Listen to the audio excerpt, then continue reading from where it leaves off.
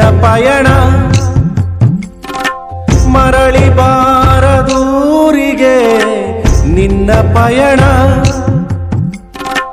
ಹೇಳಲಾಗದ ಮಾತಿನಲ್ಲಿ, ಕೇಳಲಾಗದ ಧ್ವನಿಯಲ್ಲಿ, ನೋಡಲಾಗದ ಕಣ್ಣಿನಲ್ಲಿ, ಕಾಣಲಾಗದ ಜಾಗದಲ್ಲಿ.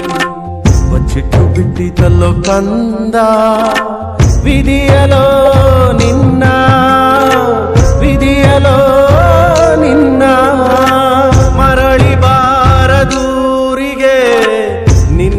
ಪಯಣ